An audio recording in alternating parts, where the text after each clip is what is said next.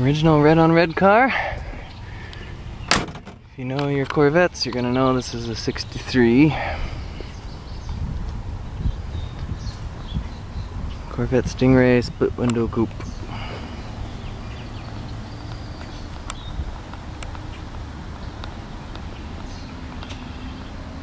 SunsetClassics.com.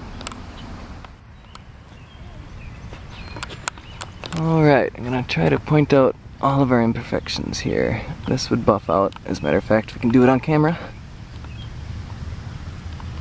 But that'll buff out, but got just tiny little things like this.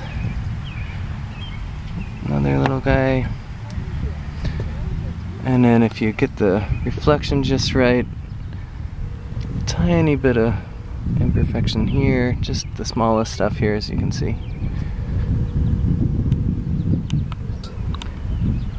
But want to make sure you know what you're getting.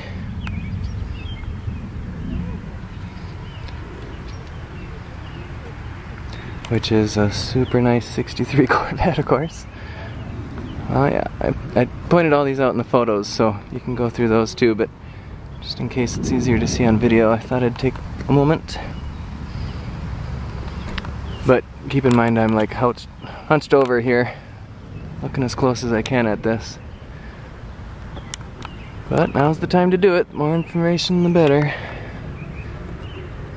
Yeah, looking super nice. Oh yeah, I photographed this guy.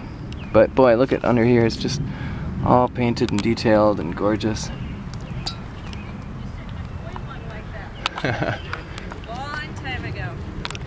It's always good when your cars are in the toy section at the store, I figure.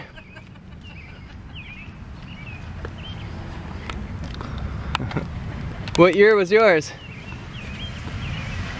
This is like this one. This is uh, one of my favorites. Neat. Oh, oh cool. I couldn't tell you what year. Yeah, this is a 63. Okay. Minor rock chips here, been touched up and some tinier ones. But overall, you stand back just five feet and you got a gorgeous looking car here.